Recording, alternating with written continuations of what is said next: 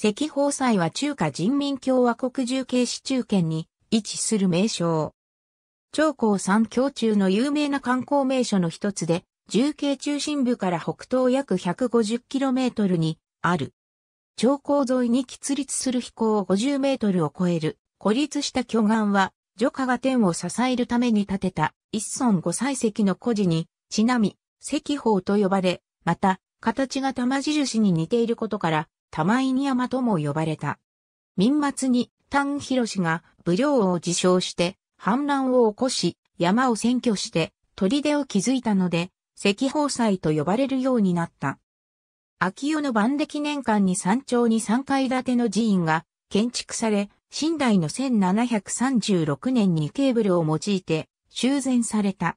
華僑年間に山に迫るように急層の楼閣が建てられ、1956年に3層を増築して12層に改築された。石宝塔は門、城壁と塔本体で構成され、塔は12階建て、高さが56メートルある。すべて木造で、世界八大偉業建築の一つと称している。2001年に全国重点文化財として保護指定された。石宝祭は長江下流に建設された三峡ダムが淡水すると一部が水没してしまうため、2005年に閉鎖して周囲を堤防で囲む保護工事をし、2009年に完成して再開放された。かつての岩峰の遺憾は損なわれ、代わって水上に浮かぶ盆栽のような眺めとなった。